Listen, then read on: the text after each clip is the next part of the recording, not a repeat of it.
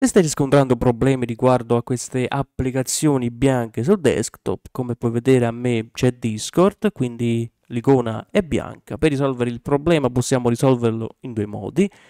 Andiamo sul tasto destro su Start, Gestione attività, vai su Dettagli, Explorer.exe, termina attività. Una volta fatto vai su Esegui nuova attività e qua sopra vai a scrivere Explorer. Scrivi qua sopra explorer.exe e fai ok. Aggiorniamo così il desktop.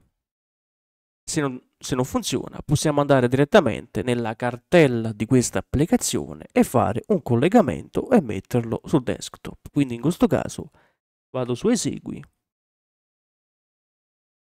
Qui vado a scrivere updata per cento, vado a prendere così l'applicazione di Discord, faccio ok, vado su updata, local, vado su Discord, vado su app ed ecco Discord.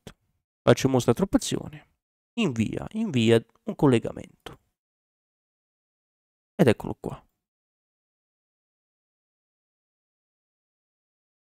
Discord.